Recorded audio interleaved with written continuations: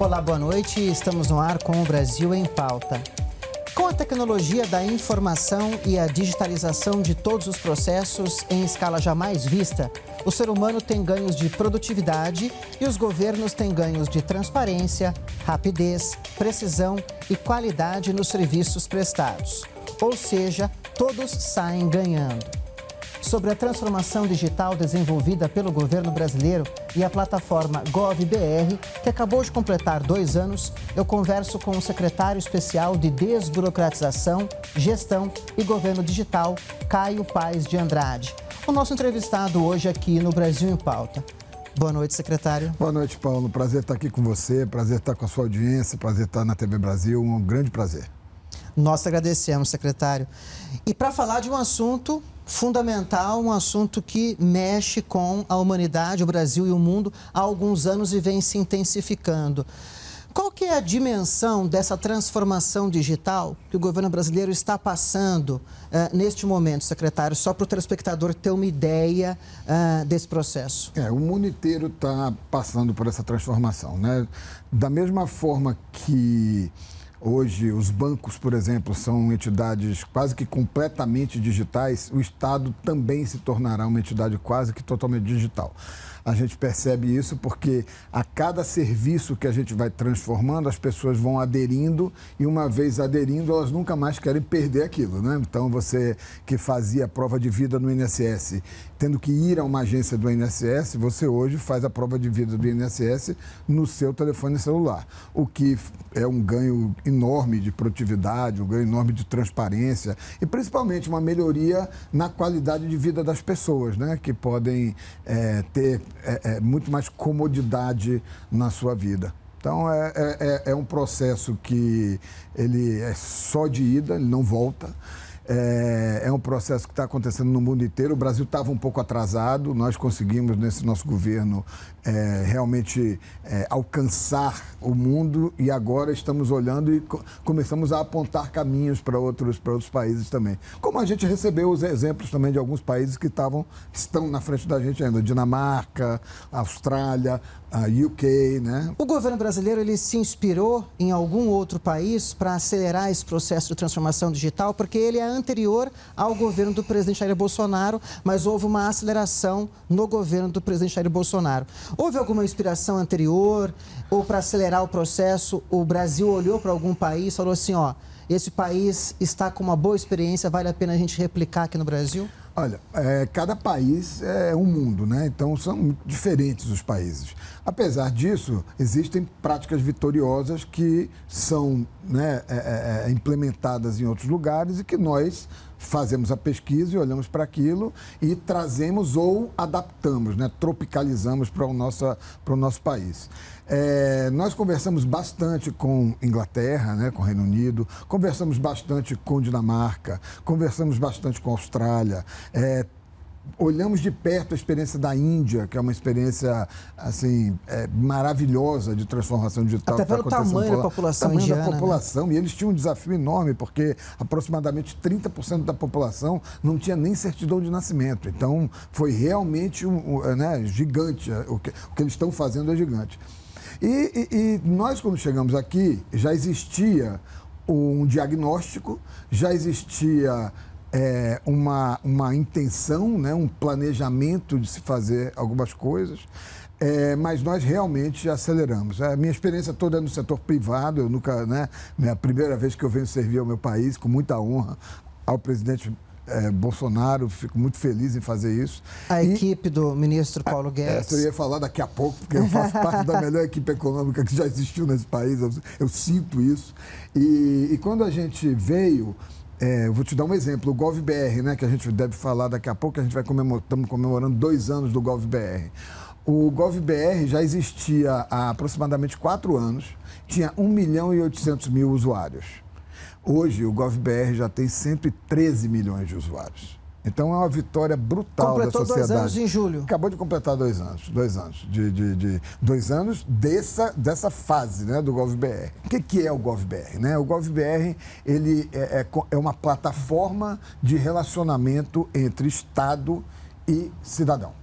Tá? O GovBR, para nós, ele representa o combate a burocracia, ele representa a melhoria da administração pública e ele representa a transformação digital do Estado. Então são essas três coisas que a gente coloca dentro do nosso corporificadas na plataforma. Na plataforma ali. GovBR, é, que é a plataforma de relacionamento.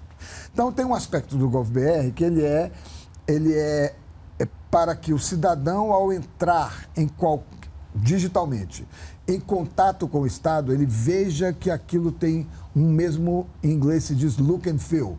Né? O look and feel eu traduzo para um jeitão.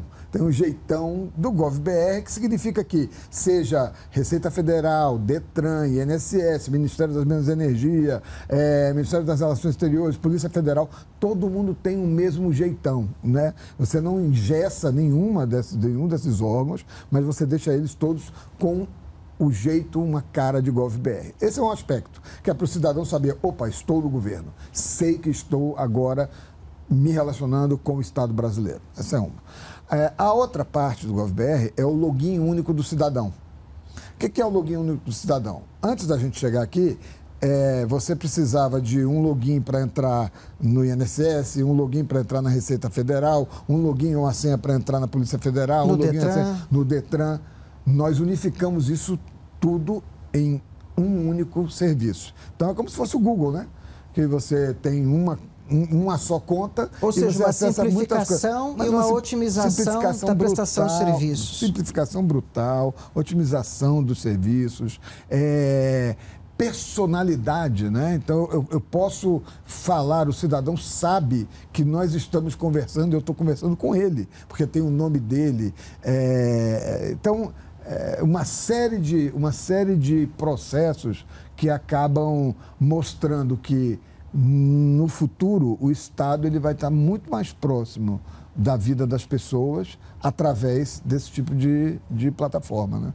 São 110 milhões de usuários, um login único e esse processo de dois anos uh, da plataforma também uh, se corporificou com portais migrando, endereços eletrônicos migrando para essa plataforma única. Como é que foi esse processo, secretário? Que é a primeira parte que eu te falei, né? Ficar todo mundo com o mesmo jeitão, mesmo look and feel. Assim, é... Eu tenho um dado de 126 portais migrados Isso. e 190 endereços eletrônicos Isso. até junho. Esse, mu esse número muda constantemente. Muda constantemente, é um pouquinho mais do que isso aí, porque né, os incrementos são constantes e nós estamos chegando já em quase 100%. Daqui a pouco não tem mais incremento, porque a gente fez tudo que tinha para fazer. É, estamos muito próximos disso aí.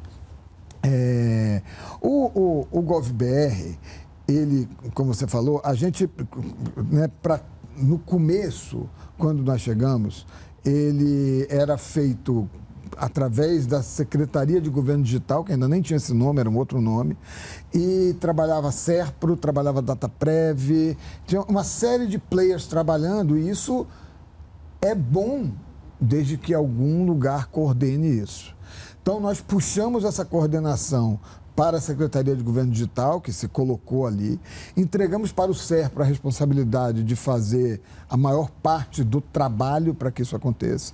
É, você sabe que esse Que mundo... é o Serviço de Processamento de Dados do Governo Federal. O SERPRO né? é o Serviço de Processamento de Dados do Governo Federal. É, é, o SERPRO é uma empresa de tecnologia digital. Ela tem esse nome de processamento de dados porque ela nasceu como processamento de dados, mas ela é muito mais do que isso hoje. É uma empresa que é, faz uma série de coisas para o Estado é, é, assim como o DataPrev também faz. E são os sistemas estruturantes né, do Estado brasileiro. Então, nós é, escolhemos o SERPRO ali naquele momento, assim como depois escolhemos DataPrev para fazer outras coisas, mas usamos essas duas empresas como as empresas, as empresas nucleares da transformação digital do Estado brasileiro. E isso está dando muito certo, graças a Deus, porque está funcionando e diversos órgãos e diversos serviços, são mais de 4 mil serviços já que foram digitalizados, foi feita a transformação digital. A transformação digital, Paulo, é quando a gente pega um processo, seja ele qual for. Mais de 4 mil, perdão, ou mais de 3 mil serviços digitalizados? Mais de 3 mil. Mais, mais de 3 mil atualmente. Dos 4 mil totais. 4 mil é a meta até o final de 2022. Exatamente, exatamente. 3 mil, perdão. Perdão, você está certo. É, é, quando, quando você, você para fazer uma transformação digital, você pega um processo. Qualquer processo. Então, por exemplo, é, emissão de passaporte. Emissão de passaporte tem lá um processo. Você tem que ir a uma agência, você tem que fazer determinadas né, é, é, é, inserções dentro do sistema. Depois as pessoas pegam o que foi inserido e vão, né, um vai aprovando, outro vai aprovando. Então, vamos dizer, um, um processo analógico, normal, que tenha 50 pontos de interseção. Quando você faz uma transformação digital, você pega esses 50 pontos, transforma em, vou dar um exemplo, 20 pontos. Onde você tinha 30 pessoas trabalhando, agora você tem 10 pessoas trabalhando. É, onde você demorava é, cinco dias, você agora demora uma hora. Então você faz uma transformação total e não é só tecnologia, tem uma transformação também da maneira como as pessoas trabalham, da maneira como as pessoas é, elas usam os sistemas. Isso obviamente cria, é, vai criar, né, já está começando a criar, mas vai criar bastante é, é, é, é desse tipo de de, de é, solução no futuro, que é quando você faz esses processos inteiros, as pessoas, as tarefas começam a ficar obsoletas. Então, como as tarefas ficam obsoletas, nós temos que preparar as pessoas para outros negócios, para outras coisas, para fazer outras atividades. Isso aqui tem a ver com a outra parte da minha secretaria, que é a parte da reforma administrativa. Então, é justamente para a gente não ter obsolescência no setor público de pessoas, a obsolescência das tarefas, a obsolescência da, da, daquilo que a pessoa faz, isso vai acontecer naturalmente. Como hoje ninguém mais é operador de fax, ninguém é operador de telex, né? assessoristas são pouquíssimos. Por quê? São profissões que foram sendo substituídas por outras coisas. E aí, é como no Estado a gente faz concurso para que a pessoa seja aquilo, a gente tem dificuldade em transformar também, além de digitalmente, transformar as pessoas para outra coisa. Eu acho que as pessoas merecem fazer coisas mais bacanas do que tarefas repetitivas o tempo todo. É, e a gente está encontrando bastante no Estado brasileiro, no governo, a gente está encontrando bastante gente que ouve a gente, acredita e gosta disso aí. Ou seja, a transformação digital ela traz muitas consequências. Mas a gente fala sobre isso no segundo bloco aqui do nosso programa. Maravilha, tá bom, secretário? Paulo. Obrigado. Nós vamos para um rápido intervalo e daqui a pouco voltamos aqui no Brasil em pauta com Caio Paz de Andrade para falar sobre a transformação digital por que passa o governo brasileiro. Não saia daí, voltamos em instantes.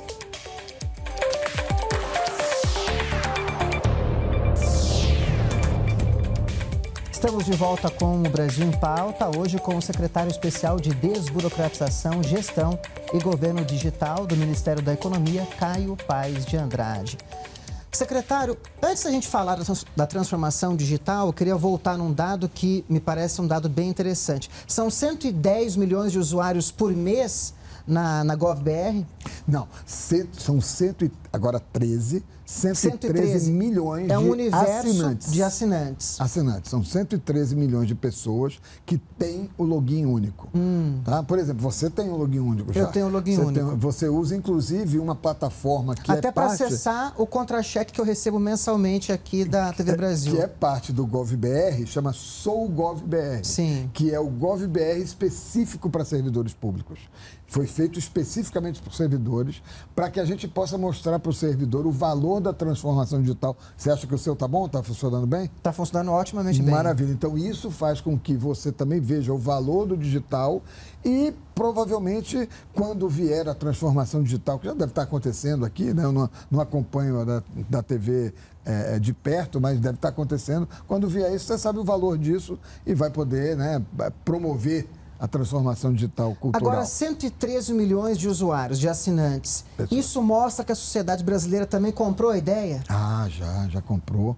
90%, acabou de sair uma pesquisa, 92% da população conhece o GovBR e sabe que é o login único. Porque hoje, veja bem, é CPF digital, carteira de trabalho digital, é, a, a, o INSS digital, é, a carteira de motorista digital, tem uma série de documentos que são digitais e são acessados pelo GovBR. Hoje você acessa suas contas em, nos bancos, nos maiores bancos, nos cinco maiores bancos do Brasil, usando o seu GovBR. Você não precisa mais lembrar o seu login e senha lá. A gente tem o acordo para os bancos. Então, essa, é, é esse caminho do, do, do, do GovBR como login único do cidadão, ele vai levar também para a identidade digital do cidadão. Então você tem. É, em breve nós teremos aí boas notícias nessa área. É, os acordos estão praticamente fechados, tudo certo. E em breve o cidadão vai poder ser reconhecido, independente do documento digital que ele tenha, que ele apresente, o GovBR vai dizer sim, o Paulo é o Paulo. Sim, o Paulo pode fazer essa, essa e essa assinaturas pelo Paulo. Sim, o Paulo pode assinar digitalmente pelo Paulo. Entendeu? Esse é, esse é o caminho que o GovBR vai ter. A gente falou um pouquinho no primeiro bloco uh, dessa marca do governo do presidente Jair Bolsonaro, que é acelerar esse processo de transformação digital no país. Não é só uma marca, é uma estratégia, né? Uhum. Existe a estratégia do governo digital. Lógico. Fala um pouquinho para a gente sobre isso, secretário. É, a estratégia de governo digital é justamente nós olhando, né, nós olhamos para o que o mundo está fazendo, OCDE, vimos que o Brasil estava atrasado, conseguimos os recursos e principalmente as pessoas, né? Esse é um negócio muito de pessoas fazendo as coisas. Os times da SGD, do CERP, da DataPrev, DataSUS, os times são, assim, compraram mesmo a ideia e estão fazendo. Então, é, o presidente foi eleito em boa parte pelo digital, então ele sabe o valor do digital, ele gosta do digital, ele se comunica muito bem no digital e a gente sabe que essa é uma, uma plataforma que veio para ficar mesmo, de verdade. Então, é, todos os recursos que nós precisávamos, apesar da dureza toda do orçamento, apesar da falta né, de dinheiro é, é, crônica que o Brasil vem sofrendo há algum tempo, é, o desafio da pandemia, a pandemia, o digital foi maravilhoso na pandemia. 850 serviços digitalizados durante a é, pandemia? É, não, e, e, e além disso, o, o, o, auxílio emergencial, né?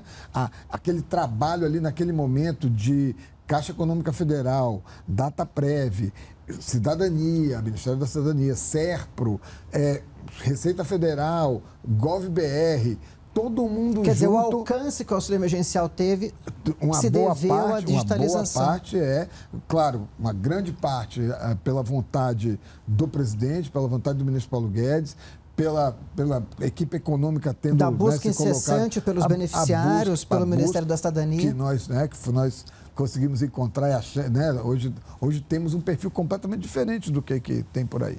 Então, esse processo inteiro foi um processo que, desde o começo, teve muito suporte de todo mundo. Não teve resistência. As resistências tem nos silos de TI, né? Obviamente, o silo de TI, o cara que né, ele, ele protege o servidor dele, ele não quer deixar as coisas acontecerem, mas tecnologia é assim, ou você abraça ou você vai ser derrotado.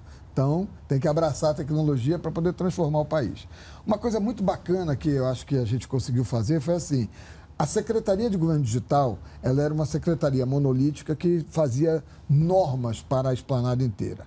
Nós conseguimos quebrar a secretaria em dois processos diferentes.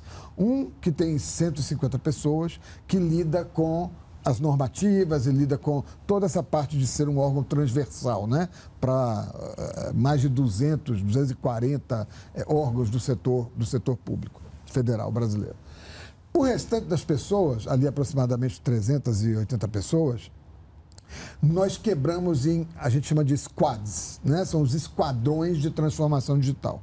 Esses esquadrões, nós fazemos acordos com os ministérios ou com os órgãos, e emprestamos servidores nossos, grupos de oito ou 10, 12 pessoas, um, grupos multidisciplinares, que conseguem ir para dentro de um ministério e lá fazer um determinado trabalho por um tempo, né, por um tempo X. No, nenhum projeto pode demorar mais do que nove meses, todos têm diagnóstico muito claro, todos têm medições muito claras, e a gente entra lá joga junto com o time do Ministério e sai para fazer outro. Assim fizemos a, né, o, o INSS, é, a, a, prova de vida, estamos fazendo o INCRA, estamos fazendo o CAR junto com a ministra Até Teresa licenciamento Cristina. ambiental. Licenciamento ambiental Hoje está na plataforma. Tá, tá, tá. tá. Tudo, tudo, é, nessa parte tudo está na plataforma, mas a transformação da, da por exemplo, a carteira... A plataforma, a plataforma GovBR é um expoente desse processo é um de transformação é digital é como um todo. Ela, uma das coisas que ela representa, ela representa combate à burocracia, ela representa melhoria da administração pública como um todo e ela representa a transformação digital. Vocês têm números que eu acho que são números interessantes. Por favor. 3,1 bilhões de reais de economia por ano, sendo 2,3 bilhões de reais da sociedade e 800 milhões de reais do governo federal. Como é que vocês chegaram a esses números? Nós fizemos os cálculos junto, junto com a Secretaria de Política Econômica, junto com o IPEA, junto com o IBGE. Então, o pessoal da Secretaria de Governo Digital fez lá né, um apanhado, usou uma metodologia que é uma metodologia usada por OCDE para chegar nesses números. Mas os números são maiores, né? E o que é interessante é que a sociedade né, pelo menos nessa conta, ela é, é, mais beneficiada que o próprio governo. Né? Sim, porque é ganho de tempo, né? Pensa, uma pessoa. Tempo, deslocamento. Tempo, deslocamento, é, táxi, é, é, sair de casa, tem que levar o dinheirinho para fazer, para comer, tem que levar. Então, é, é um gasto que acaba sendo economizado. E só retomando aqui uh, uma informação do primeiro bloco. Atualmente são mais de 3 mil serviços digitalizados. A meta é chegar no final do ano que vem com 4 mil serviços digitalizados. É aproximadamente é 4.150. Um pouquinho assim, mais. Assim, é. é isso aí. Agora, secretário, uma coisa importante quando a gente fala de digitalização uh, da informação, que também é um assunto atual, permeia esse debate, é a questão da proteção dos dados dos cidadãos, né? uhum. né?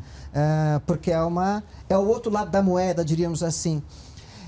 Nisso, o governo também investe de forma pesada, né, na proteção dos dados do cidadão, para ele não ter receio de uh, ser, por exemplo, um usuário do, é. da, plataforma, ter o seu login único ali. Quer dizer, toda a proteção existe para que nenhum problema ocorra.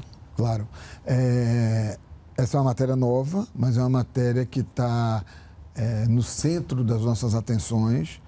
É, nós, desde que chegamos, uma das primeiras preocupações tanto em SERPRA quanto em DataPrev, que são esses grandes operadores né, de dados que o Brasil tem, é, criar grupos de altíssima segurança, respeitando a Lei Geral de Proteção de Dados.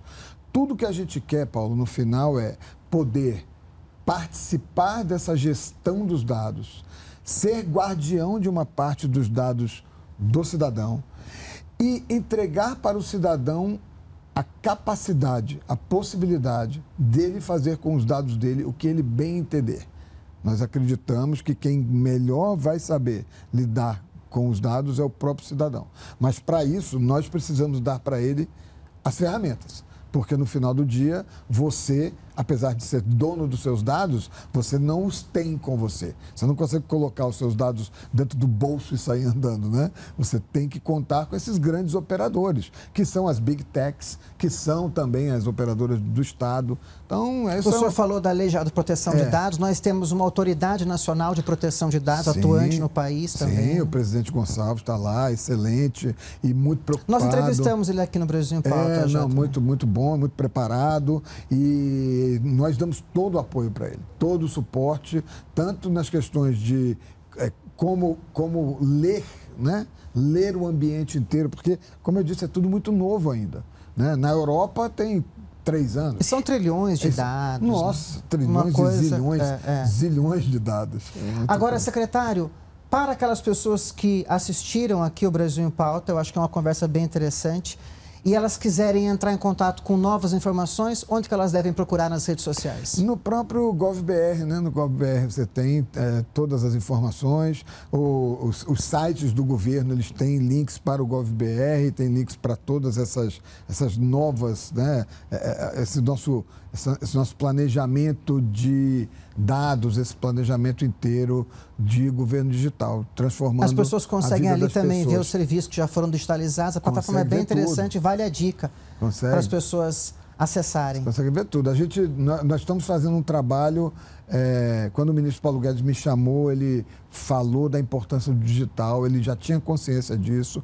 O presidente reafirmou isso o tempo todo. Os ministros todos são completamente é, comprados né, com a ideia de transformar o Brasil digitalmente.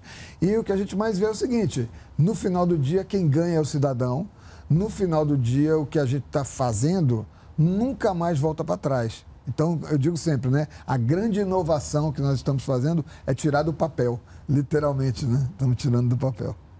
Secretário, muito obrigado pela entrevista, foi muito bacana. Muito obrigado, Paulo. E já deixo um convite aqui para o senhor voltar em algum momento neste ano, no ano que vem, para falar dos novos desdobramentos aí, tanto da transformação digital quanto da plataforma GovBR. Muito obrigado. Muito obrigado a você, seus ouvintes, a toda a né, sua audiência e a toda essa estrutura aqui que né, consegue transmitir tanta coisa bacana para o Brasil. Obrigado, secretário. Obrigado. O Brasil em Pauta recebeu nesta edição o secretário especial de Desburocratização, Gestão e Governo Digital, Caio Paes de Andrade. Se você quiser rever esta ou outras entrevistas, é só acompanhar as nossas redes sociais ou baixar o TV Brasil Play. E o Brasil continua em pauta aqui na TV Brasil. Até o próximo programa.